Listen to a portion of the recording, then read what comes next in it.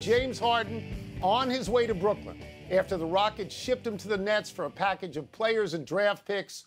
One of those players is Caris LeVert, who the Rockets then moved to Indiana in a swap for Victor Oladipo. But the Nets are the story, Pablo. They will now feature James Harden, Kevin Durant, and Kyrie Irving if and when he returns. Do you see this working? I see this being, first of all, insanely volatile, Tony. It's worth noting that the pretext for this is that Kyrie Irving has been missing from work. We don't really know why. There are currently many questions speculating around the league. How are he and Kevin Durant getting along? All of which is to say that to throw James Harden in there is an explosive thing to do. But I do think that they had to do it. If you can get James Harden, Tony, one of the few things I am sure of in the NBA and sports in general, really, is that if you can get an NBA MVP candidate, a perennial one, you have to do it. I don't care about the chemistry. If he is on the table, you try and get him, and then you figure it out because maybe that helps address the fact that this Kyrie thing, we don't know what's going to happen there. Let's just follow the talent. Keep doing that. I love the trade because it makes it easier for me to hate the Nets even more now as they load up in this way. I look at James Harden and what he has done this year in Houston. When he stopped playing, he stopped. He stopped running. He stopped working. He even stopped shooting, which is amazing. And he just poisoned the well there so that they had to get him out. You know, when he said, was it last night? He said, this just isn't working. And then they kept yeah. him away from practice today. So you knew that they were going to make a move.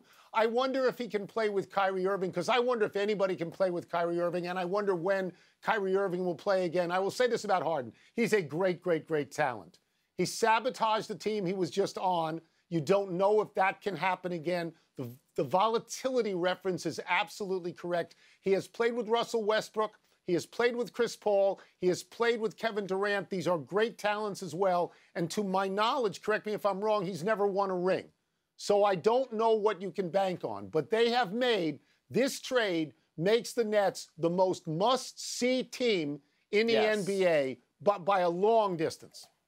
And there's another name, Tony, that I think of when I was watching this deal unfold today amid the slow motion divorce that you described with James Harden in Houston. And that's Anthony yeah. Davis. Because there were many critiques, right? Anthony Davis, terrible teammate, betraying his team, making it so hard for everybody there. Alvin Gentry in New Orleans, all of which was 1 million percent true. It was such a mess that made a lot of people think less of him.